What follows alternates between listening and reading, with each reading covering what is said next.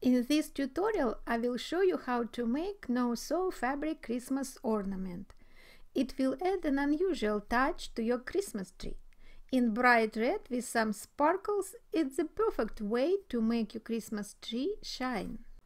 What you will need styrofoam ball, fabric maybe around half a yard, but the amount of fabric will depend on the size of uh, the styrofoam ball and how close you will insert the squares.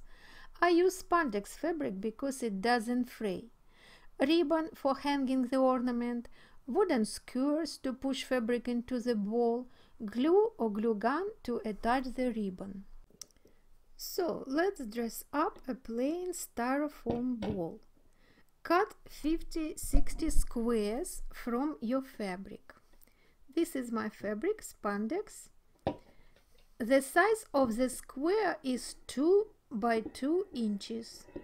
If you have a rotary cutter and a cutting mat, you can use these tools for cutting squares. Or you can just use fabric shears. The squares don't need to be precise.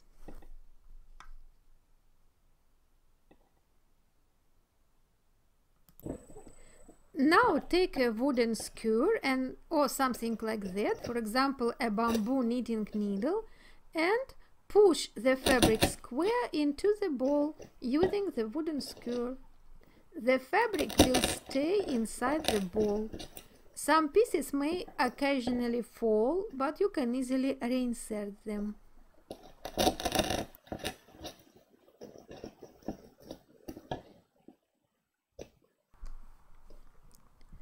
Cover the whole ball with fabric.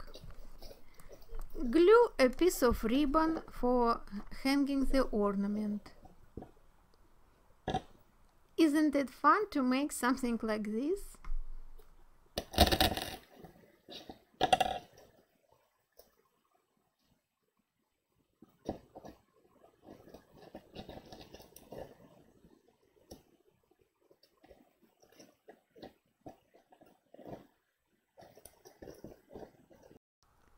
Okay, and this is the result. My fabric Christmas ball.